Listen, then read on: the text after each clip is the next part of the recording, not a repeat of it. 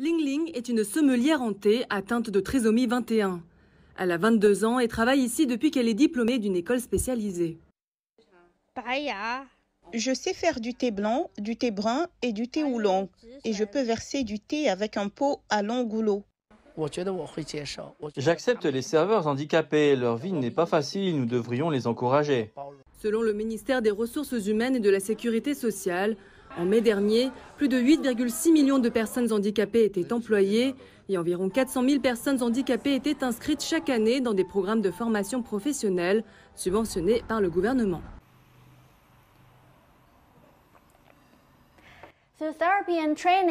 Grâce à la thérapie et à la formation, les personnes souffrant d'un handicap mental apprennent à accomplir des tâches simples et à obtenir un emploi stable. Mais cela nécessite l'aide d'écoles, d'organismes de protection sociale et d'employeurs. Il y a cinq ans, ce salon de thé a commencé à former de jeunes personnes handicapées. Ling Ling et des camarades d'école apprennent à faire du thé vert. Les enseignants agissent souvent comme tuteurs professionnels pour donner à leurs élèves une chance de réussir dans le milieu du travail. Nous organisons des contenus de travail simples et répétitifs pour les étudiants en fonction de leur situation et les accompagnons au travail jusqu'à ce qu'ils s'y habituent. De nombreux cafés, boulangeries et magasins de fleurs de ce quartier offrent des emplois aux personnes handicapées par le biais d'organisations d'aide sociale.